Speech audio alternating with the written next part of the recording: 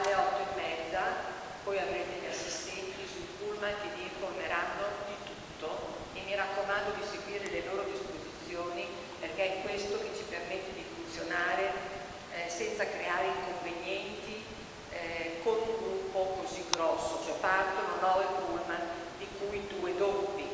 Pensate sempre, eh, cioè, eh, se dovete magari fare qualcosa che vi sembra non graditissimo, ricordatevi che fa parte di un'organizzazione molto complessa.